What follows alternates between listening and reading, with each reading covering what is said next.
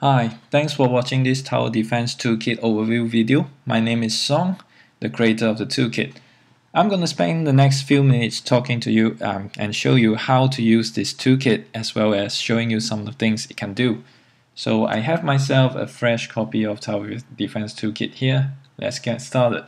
So I'm going to start by showing you how to create a simple scene. So you do this by access the top panel and just a click of button. And that's it. This scene is good to go. Right you can build tower on it. You can spawn the creeps and there we go. So now let's take a look at how things work. So this is uh, these are all the comp components you have in a, in a toolkit. You can probably tell from the name what each of them do. So um, the game control controls the logic, the spawn manager do the spawning, the build manager control what towers to build, the path is the path, and so on and so forth. Now, I'm gonna let's take a look at build manager and the platform. As you can see um, in this scene, as well as if you have played the demo, um, the demo, all the tower has to be built on certain platforms. So this is actually the platform. So it works fairly straightforward. So they are a, a, a game object which you can configure their scale or position or rotation and they are assigned to build manager. Or you can let it just let it auto assign I'm going to do that just to show you. So I'm not assigning anything. The build manager will automatically locate all the build platforms you can have as many platforms as you want. So let's duplicate a few. Alright, and then give them different sizes and shape. This one is a bit too close to the path. Let's shrink it a bit. Right, so there you go. They all should work. So as you can see, it's pretty flexible, right? So, and you can probably tell as well, you can select which tower can be built on which platform, but we're not going to go to, to do that. Now, now let's move on to path. So path is basically where the creeps move. So it actually is a component with a list of waypoint. So the waypoint are just empty transform indicate the position in a, in a, in a 3D space. Um, I'm going to switch to another example just to show you because there's only two waypoint here. We need more. So this is a prefab uh, a scene I created earlier. So the path is obviously a lot more longer. So you can tell they're assigned properly. So you can adjust the waypoint however you want. So you can tell the blue line will reflect the, the, the actual path when in runtime. So yeah, you can adjust them however you want. And yeah, there, there we go. And now we move to a more interesting idea that is instead of assigning an empty waypoint to the path, what I can do is I can assign a, a, a platform to the path. So now you can see the blue line indicates the next transform is actually the waypoint itself.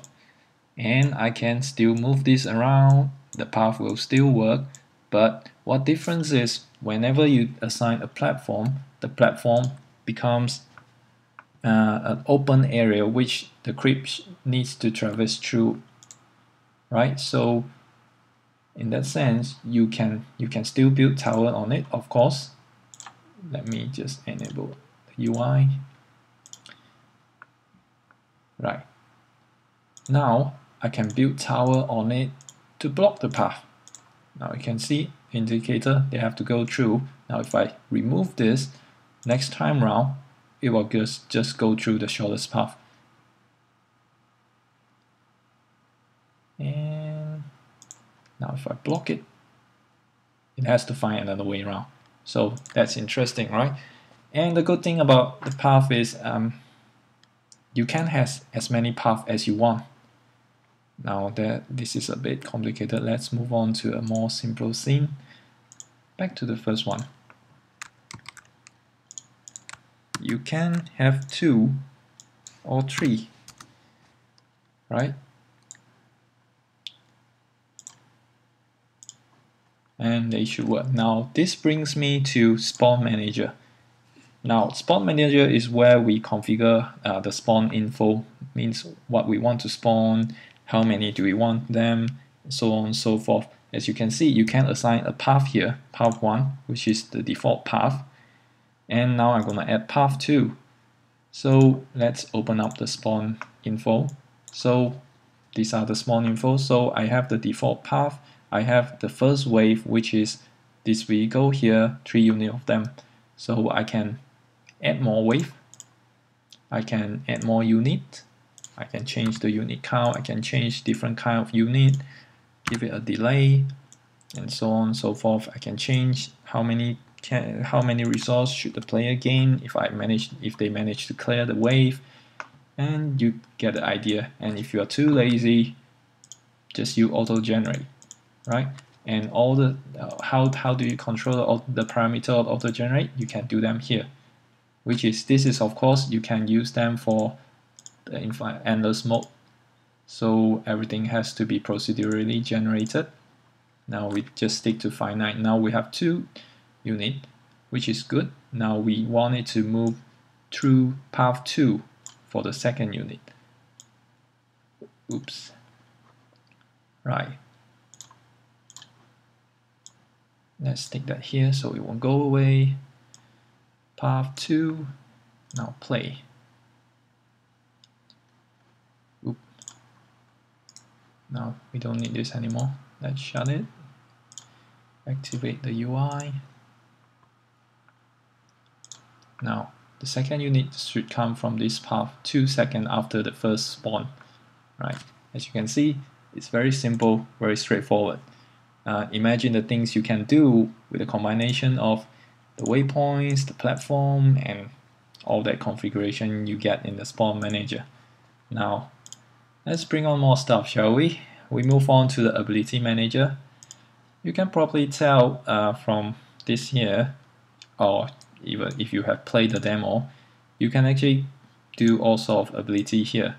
So these are the extra system in the in the toolkit, so to speak and you can they are fairly customizable. So you just open the editor um, say you want to create a new ability what they want to do do they require targeting or do they require targeting of a single unit only hostile or friendly? And what they want to do do they damage the unit? Do they apply slow or do they buff them? So yeah it's however however you want it. And and that's it and then we move on to um, perk manager. I should show you FPS control but let's I'll do that later. So the perk manager works uh, almost the same as the ability manager but it, it it's different obviously. It used to building a, a tech tree of some sort. So you can you can see there's a variety of perk you can do. Each of them do different thing. For instance you can add a new tower to the game add a new ability to the game, modify the life life regeneration over time, um, modify the tower stat of all tower, modify certain specific tower like this one here. It modifies the MG tower, pulse, and beam tower, and this one this one here modify cannon tower, artillery tower, and so on and so forth. You can modify, for instance, this modify. Uh, the ability uh, this one adds a new ability. If I want to modify um, all tower as you can see I can I can give them bonus hit point. I can increase their damage. I can increase their critical chance so on and so forth. And they have all sort of requirement that you can set up with let's say I require pulse laser mark 2s in order to unlock this or I require minimum wave of 10 before this perk become available. As you can see, it's pretty comprehensive. And in theory, you can build a fairly complex tech tree with this. And what I did is I made this. If you have played the demo, you would have noticed a very simple tech tree, but I am lazy, so there you go. And let's move on to the final component which is the FPS control. So this is the first person shooter mode. Um, if I build a tower I can go into the first person shooter mode.